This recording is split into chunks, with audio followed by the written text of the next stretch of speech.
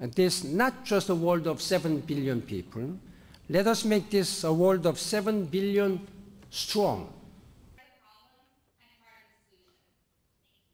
The 7 billionth child, whether he or she will be born with uh, blessings or will be born in a world of contradiction.